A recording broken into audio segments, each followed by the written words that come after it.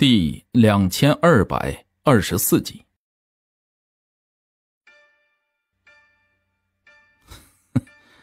陈星啊，我现在就算是向你示弱，你会放了我吗？不要以为我不知道你是什么样的人，你这种人事后一定会杀了我的。周明沉默了片刻，他冷笑了一声：“，嗯，不错，对我挺了解的呀。”陈星哈哈大笑，哼！可是你想过你做的事情会造成什么后果吗？我当然想过后果。立功可以，去拿着天湖拍素疯子的马屁也可以，但是你们伤及无辜，就是触动了我的底线了。你的底线？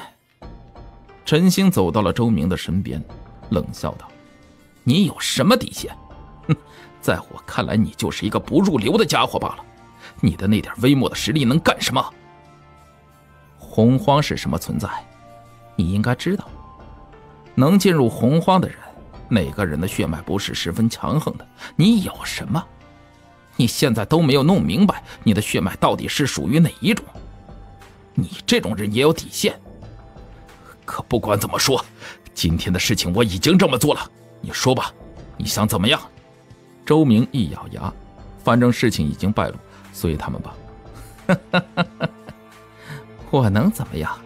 我现在告诉你，我能怎么样？陈星冷笑了一声，他突然一拳击向了周明的胸口，轰一声，周明闷哼了一声，他被陈星这一拳给击飞出去，他的胸口瘪下去，筋骨尽断，眼见是不能活了。这就是你不听话的下场。陈星冷笑一声，他转过身，扫了一眼自己的组员，警告你们一次，以后做人做事务必要小心。不听话就是他的下场，明白了吗？呃，明白。几个人齐齐点头。去看看那家伙死了没有，没死的话再补上一拳。哈哈哈，头儿，你放心吧，不用看了。你觉醒的血脉是远古血脉，这一拳下去，绝对不会有人能活着的。再说了，那小子才几斤几两，我还不知道吗？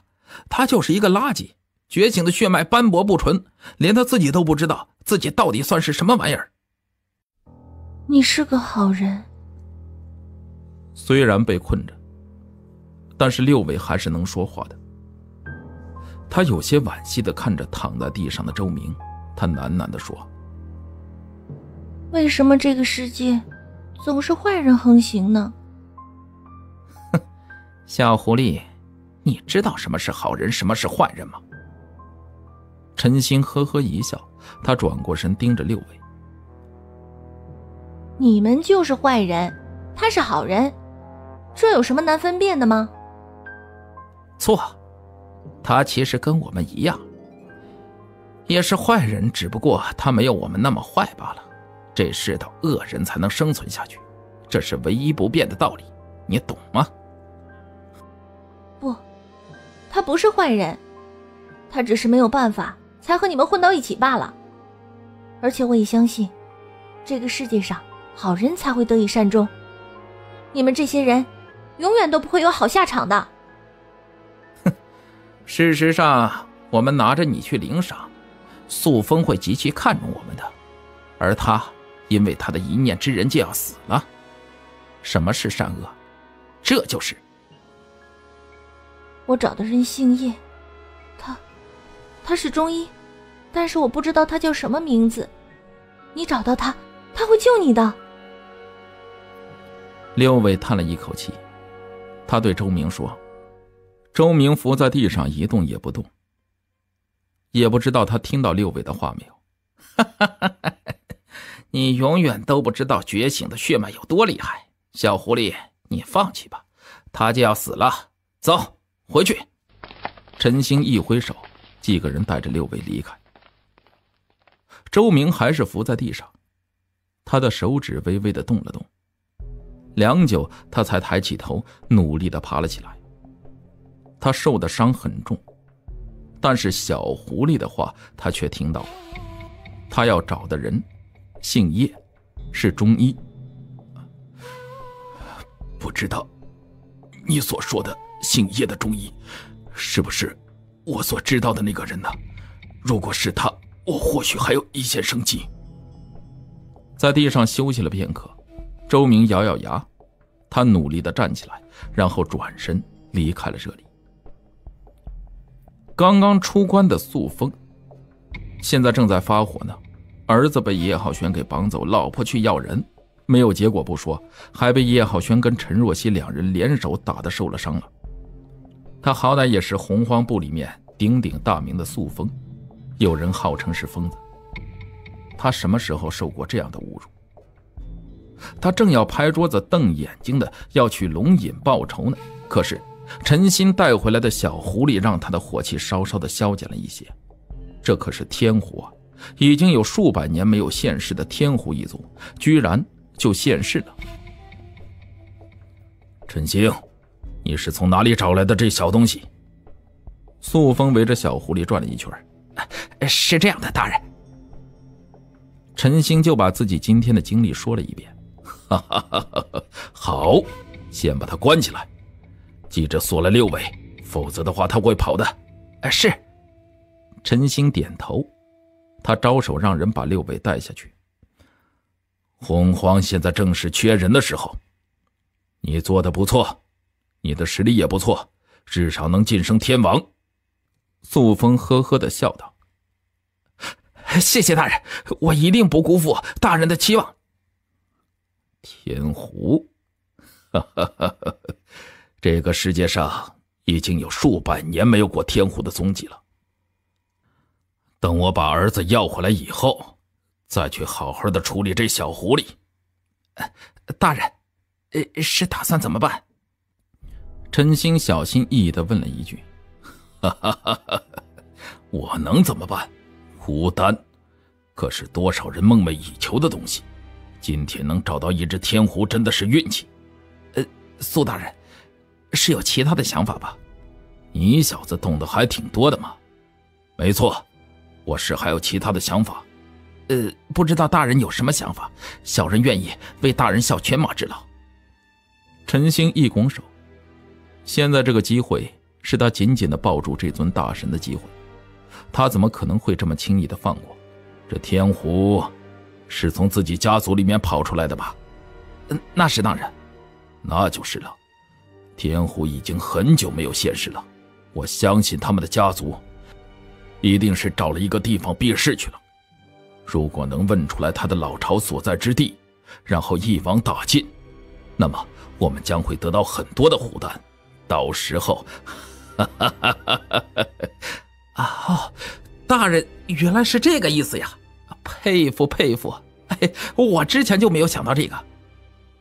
陈心微微的一愣，他马屁如潮的吹了起来：“陈心，这一次你是立了大功了。”等我大计达成，我一定不会亏待你的。哎哎，谢谢大人，呃，我也一定不负大人所期望。陈心大喜，他一拱手。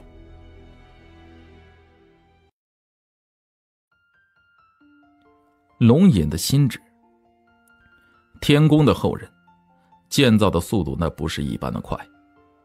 叶浩轩在建造现场看不到施工的工人。除了几个天宫家族的人在场之外，基本上是空无一物。工程进展的很快，而且施工的都是一些叶浩轩从来没有见过的小东西。这些东西是弓弩。天宫家族早在几千年前建皇陵挖洞天福地，全是靠的这些弓弩。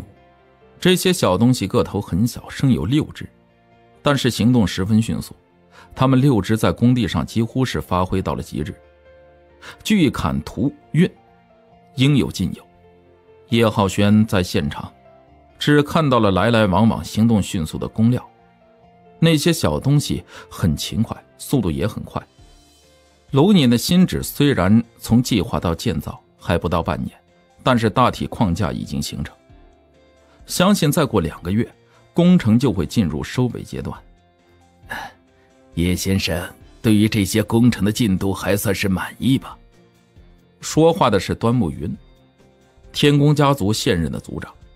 接到了这个工程以后，他本人也不敢怠慢，亲自上阵督造，力求做到完美极致。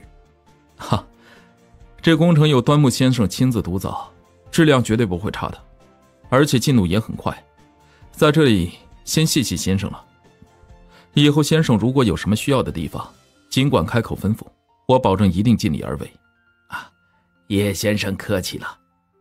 以后如果有什么地方需要麻烦先生，还望先生不要烦就是了。哈哈哈哈端木云笑道，他话里有话的说：“没问题，天宫家族果然是非同凡响，建造速度一流，工艺也一流。”哈哈哈哈我们就是吃这一碗饭的，我亲自督阵，要是出现什么问题，那我家里的祖宗恐怕都不会放过我的。端木云哈哈大笑。端木先生，这些弓奴倒是挺有意思的，不知道他们是如何驯养出来的，他们又是属于哪个种族？啊，这些弓奴其实都是祖上传下来的，有着极强的寿命。但是唯一的一点不足的是繁衍太慢，据说是来自幽冥地府，是属于阴魔的一种。但是生性勤劳，我祖上在远古的时候偶然发现，便带回来驯养了一些。幽冥阴魔，居然能生活在这个世界上，挺神奇的。叶浩轩有些好奇。要知道，这些低阶的魔物，一般来说都是怕阳光的，但是现在他们居然能堂而皇之的在阳光下生活，这由不得叶浩轩不好奇。这是因为他们的适应能力强，所以才能生活在这个世界上。现在他们可是宝贝呀，一般来说我都不敢全出。如果不是龙隐工程赶得急，我也不敢轻易让他们出现的，因为他们的数量太少了。虽然快，但是少一个就少一个，谁也不能保证会出现什么意外呀。或许。哪天还可以从冥府那里弄出来呢？叶浩轩若有所思的说：“哎呀，叶先生别开玩笑了，现在的这个世界，天上地下都被逼死了，冥府那个地方可不是随随便便说去就去的。”端木云笑道：“他不知道啊，叶浩轩可是去过那个地方，而且也去过九幽荒野。”这种东西虽然叶浩轩没有见过，但是他觉得数量一定不少。那这里的事情就拜托端木先生了，事成之后必定会有重谢。叶先生说笑了，我们大家都是相互的帮助的。好，如果没事，我就先走了。端木先生如果有需要帮忙的地方，尽管开口。啊，一定一定。刚刚离开龙隐的工地。神主便匆匆的赶了过来，出什么事情了？这么慌张？叶浩轩看了神主一眼，老板，有人找你。什么人？洪荒部的人，叫周明，现在重伤，说是被他的同僚打伤的。这简直就是杀人灭口的打法。具体什么情况？叶浩轩听得一头雾水。他说他有重要的事情向你说，不告诉任何人。神主有些无奈的说。行，带我去见见他吧。叶浩轩想了想，他点点头。虽然不知道这个周明是什么来历，但是既然对方说有事情找自己，那肯定不是空穴来风。而且这家伙是从洪荒部来的，现在龙隐和洪荒的关系本来就正紧张着，叶浩轩觉得有必要去看看。叶浩轩赶到的时候，周明已经在气若游丝了。他抬头看了叶浩轩一眼，手无力的垂下去，伤这么重。叶浩轩皱了一下眉头。刚才神主说的这是杀人灭口，他还没有在意。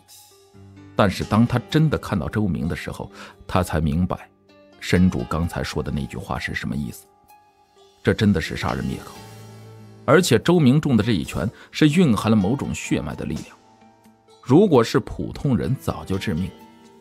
而且这周明貌似也不是普通人，他也是拥有远古血脉的存在，只是他的血脉斑驳不纯，叶浩轩弄不清楚他是属于哪种血脉的传承。